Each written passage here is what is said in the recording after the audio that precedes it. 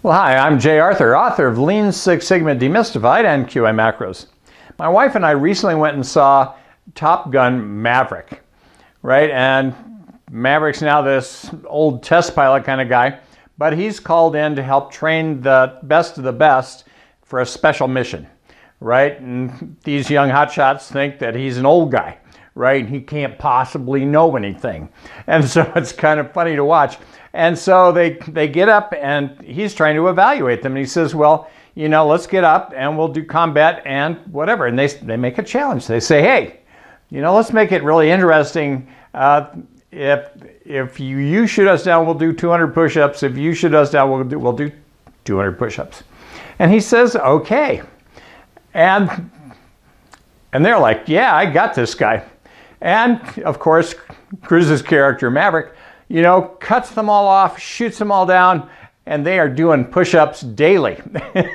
200 push-ups daily. I don't know about you, but I think I would be, my muscles would be in a situation where I couldn't actually fly anymore. Um, but that kind of thinking is based on a character, um, John Boyd, who was a fighter pilot back in the 50s. They call him 40-Second Boyd uh, because he would train people and he'd say, get on my tail, and in 40 seconds, he would defeat them. 40 seconds, he would beat those people. And he came up with what he called the OODA loop, O-O-D-A, which stands for observe, see what's, where you're at, orient, so you know where you're going, right? Decide what you're going to do and act. And the faster you do the OODA loop, the faster you can get on somebody else's tail and shoot them down. Was kind of his thing. All right, and then the Marines actually adopted the OODA loop for the, a lot of the things that, that they do on the ground. And the OODA loop has kind of taken on a little cachet because that's how we have to think. But in quality improvement, you know, I like to observe, okay, so where's the biggest pain? Where's the biggest problem? Where's the biggest suffering? Where's the biggest loss of money? You know, whatever it is, right? And then orient, okay, so where's the data for that?